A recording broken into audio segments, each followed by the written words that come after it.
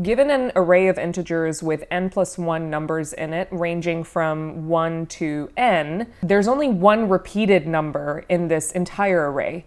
How can you find it without modifying the array and only using constant extra space? Hi everyone, and welcome to another mock interview with Exponent. I'm here today with Ahmed. Would you like to introduce yourself before we get started? Hello everyone, I'm Ahmed Khaled. I'm a software engineer at Google and yeah, I'm happy to be here. Lovely. Happy to have you here as well, Ahmed. Um, so today we're doing a software engineering interview question. And the question for you is, given an array of integers with n plus 1 numbers in it, ranging from 1 to n, um, there's only one repeated number in this entire array. How can you find it without modifying the array and only using constant extra space? Okay, so the input for this question is an array of integers mm -hmm. uh, starting from 1 to n. Uh, and I'm required to return this element that's repeated in this array, right? Yes, exactly. Okay. So what I'm thinking about is the brute force solution which is iterating through all the array two times. The first one is iterating through every element, and the second time is comparing this element with all the other elements in the array. And if we find the duplicate, we can return this value. Okay, so first let's start by uh, creating the, the method that we will be using, which is mm -hmm.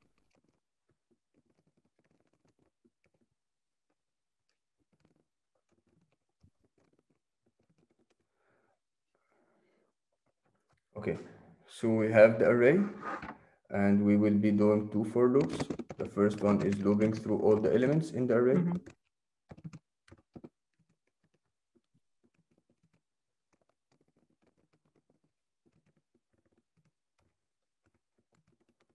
And inside this for loop, we will have another for loop iterating through all the elements again in the array. But starting from okay. this index because we don't need to be repeating uh, comparisons more than one time. Yeah.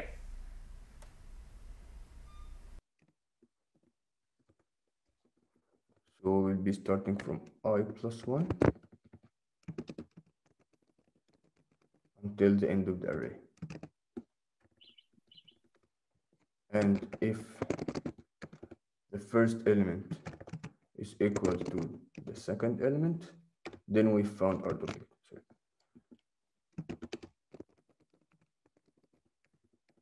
If not, we will continue our for loop. Mm-hmm. And if we finish the for loop without finding any element, I believe we should return some invalid uh, value, like negative mm-hmm. one, for example. But this shouldn't be happening according to our. Yeah. Uh, let's assume let's assume you always have it for now, and then yeah, that's that's not a problem. This is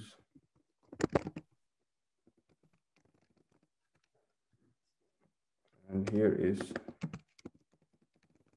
that we found the our okay so this is the first solution and i believe the time complexity here is n squared because we have two for loops. Mm -hmm. and the space complexity is o is of one because we basically didn't use any space. Yeah okay. Um and then let's say if we want to change the time complexity here and improve it. First of all, what is the time complexity right now and how would you improve on it?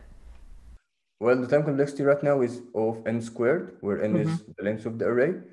And yeah, it's not the best. I think that the second solution to improve the time complexity is sorting the array and comparing every element with the element that's after it. But this will only increase the time, uh, will improve the time complexity to n log n. Okay. Which is still, which is still not the best solution.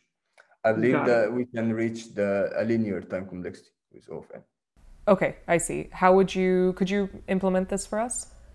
Okay, so first of all, to, to reach this, I believe the, the easiest solution is to use a set where mm -hmm. we mm-hmm. iterate through all the elements and whenever we reach an element, we check if it exists in the, in the set Mm-hmm. If it exists, then it means that we already found another one that's had the same value. Okay. And this is a duplicate. If it doesn't exist, we insert it in the set. to Yeah. make sure that when we find it again, we know that it exists.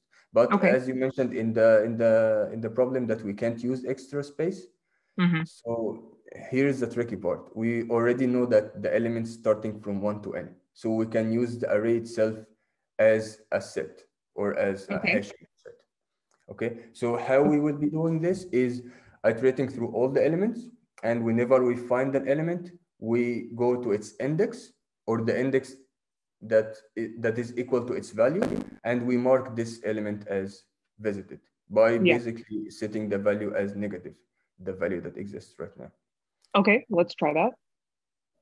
Okay, so we will only have one for loop instead of two for loops. So let's Mhm. remove the second one. And for every element, sorry, uh, we will be checking its index. So first, let's calculate the index. Mhm. Here, the index needs to be the element minus one, but the element might be visited before, so it might have negative value.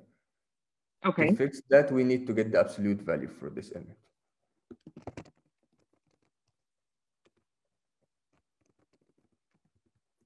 And since the, uh, the elements from 1 to n, but the array is zero-based index, so we need to uh, subtract 1 to be from 0 to n minus 1, not from 1 to n.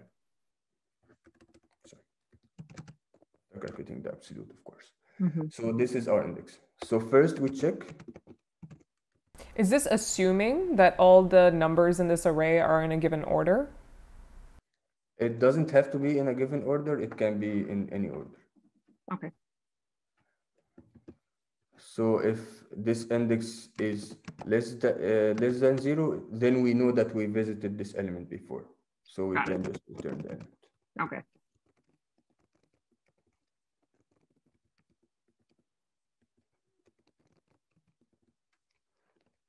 Don't need those. Other than that, we need to mark this element as visited. So we say array of index equal Mhm. to negative array. Okay, so here we iterate through every element. We calculate the corresponding index, which is like using the hash function. Mhm. And for this index, we check if we visited this element before or not. If we visited it, so it's a duplicate. If we didn't, so we mark it as visited. Okay, can we try testing this code and seeing how we can use it? Okay, so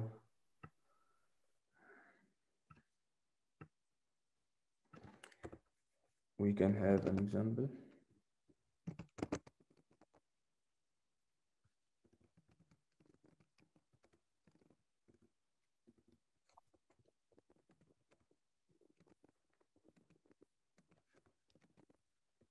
Let's start with the simple one, okay? Mhm. But to use this function inside the main, since the main is static, so it had to be also static.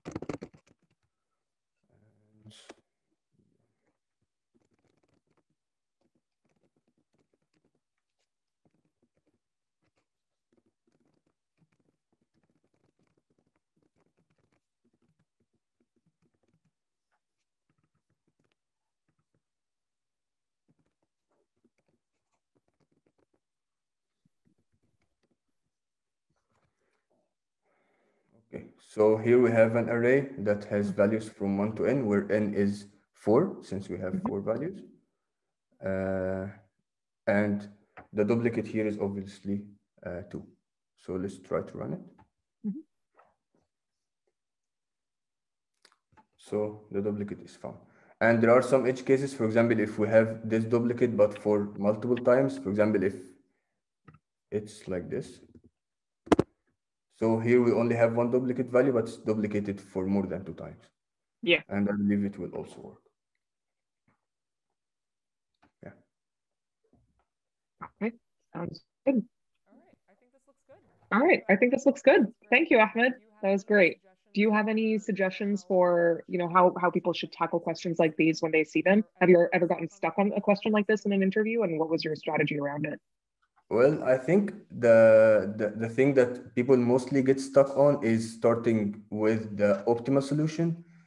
And I believe this is not the right strategy to have.